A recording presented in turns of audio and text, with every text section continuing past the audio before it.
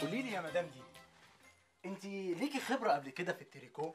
أمال يا أستاذ أنا بقالي حوالي 22 سنة بشتغل تريكو. واشتغلت فين قبل كده يا مدام؟ في البيت. في البيت؟ أيوه يا فندم أنا أنا عملت آه، 120 بلوفر و200 بلوزة و56 شراب. بس شغل البيت ما ينفعش يا مدام. لازم تكوني اشتغلتي في مصانع قبل كده علشان تتحسب لك في سنين الخبرة. طب طب ونعمل إيه بس سعاده البيت؟ إذا كان جوزي رافض اني إني أشتغل بره البيت. وما وافقش غير بعد 22 سنة جواز. موافقته ما بقالهاش لزوم. أصل إحنا اتطلقنا. اتطلقتوا؟ والله العظيم.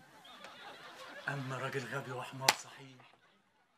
إزاي يبقى معاه واحدة بجمالك وحلاوتك ويفرط فيها كده؟ الناس كلها قالت له كده والله. بس يكون في علمك مش هو اللي فرط فيا أنا اللي فرطت فيه. أحسن برضه يا مدام. الله ده انت تحمدي ربنا. كفاية عليا 22 سنة جواز من عمر حضرتك. كان بيغير عليا قوي. قعد معايا 22 سنة. مش مصدق نفسه إنه اتجوزني. وحتى بعد ما طلقني ما بقاش مصدق نفسه إنه طلقني. أكيد هيجرى له حاجة في نافوخه أكيد. كان بيغير عليا.